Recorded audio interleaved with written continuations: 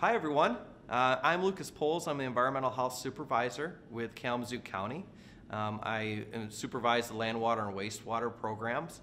And one of the programs that we look at is mosquitoes. And so I want to give a quick update on Eastern equine encephalitis. Um, Eastern equine encephalitis is an extremely rare, but it's a very, very serious illness. Um, it causes encephalitis or inflammation in the brain of those that uh, get this disease. Uh, triple E is spread by the bite of a mosquito. So a lot of our diseases that we see today are spread person to person, but this is from the bite of an infected mosquito. It's also very cyclical. We may see um, triple E like we did last year, a high rate of triple E cases, um, and then for a couple years we might see it, and then for a decade we might not see it again. So it's very cyclical. This is our culprit, the Culiceta melanura mosquito. It's the black-tailed mosquito. Um, it lives in freshwater hardwood swamps and bog habitats. Um, it likes to overwinter as larvae. They typically emerge in May, so we're getting into that time when we're going to see um, these type of mosquitoes, and they'll have several generations in a summer.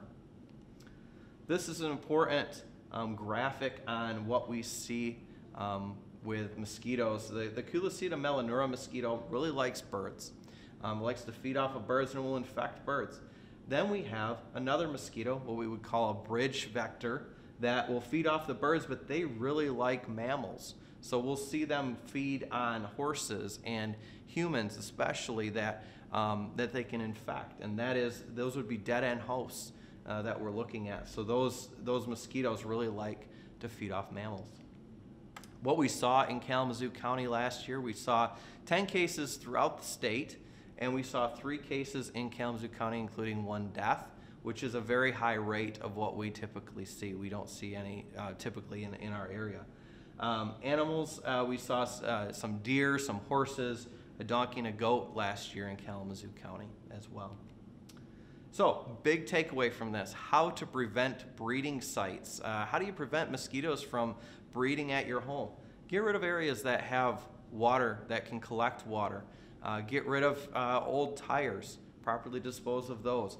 Um, flower um, pots, uh, buckets outside, dump those out. Uh, kids' toys, things like that. Clean clogged gutters, uh, areas that mosquitoes can breed in are, clogged gutters. Fill in your low-lying areas. Remove hollow logs and stumps. Also, to prevent mosquitoes from coming into your home, is fix your screens. Um, you know, make sure you have screens in your windows when you open them up. Keep mosquitoes out of your home. Another thing, protecting yourself. With Triple E, we really tell people to stay indoors if you can uh, during the times of dusk to dawn. That's when these mosquitoes like to come out and bite. So um, stay in from dusk to dawn. If you have to go outside, wear DEET. Just protect yourself from mosquitoes in general, but wear DEET when you're outdoors. Wear light colored clothing, um, long sleeves. Um, with the with the light colored clothing, mosquitoes like dark colors, so wear some light colored clothing refrain from your dusk to dawn activities again, and treat your clothing with permethrin. That's another way of, of preventing mosquito bites. So, all in all, those are some things you can do around the home. Um, feel free to contact us at Kalamazoo County if you have any further questions. Uh, thank you.